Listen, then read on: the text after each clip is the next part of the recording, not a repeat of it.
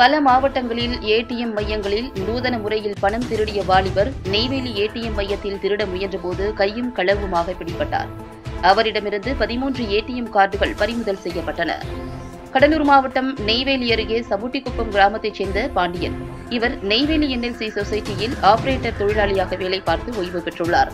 இந்நிலையில் இவர் நெய்வேலி மந்தாரக்குப்பம் பகுதியில் உள்ள ஸ்டேட் பேங்க் ஏடிஎம்மில் பணம் எடுப்பதற்காக வந்தபோது ஒரு நபர் ஏடிஎம் கார்டை கொடுங்கள் பணம் எடுத்து தருகிறேன் என்று பாண்டியன் இடமிருந்து ஏடிஎம் கார்டை வாங்கி அவர் போலியாக வைத்திருந்த ஏடிஎம் கார்டை கொடுத்துள்ளார்.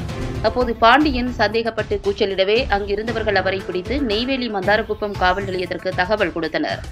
அதன் பேரில் மந்தாரக்குப்பம் போலீசார் அந்த வாலிபரை காவல் நிலையத்திற்கு அழைத்து சென்று விசாரணை செய்தனர். இதில் ராமநாதபுரம் மாவட்டம் முதுகுளத்தூர் கிராமத்தைச் சேர்ந்த ஞானசேகரன் மகன் வினோத் என்பது தெரியவந்தது.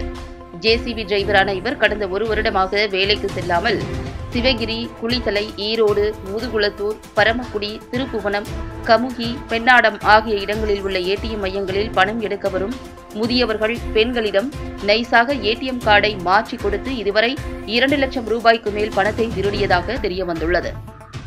இவர் மீது முதுகுளத்தூர் பரமக்குடி திருப்புவனம் ஈரோடு கமுகி குளித்தலை சிவகிரி ஆகிய இடங்களில் ஐந்துக்கும் மேற்பட்ட திருட்டு மற்றும் வழிப்பறி வழக்குகள் இருப்பது தெரியவந்துள்ளது.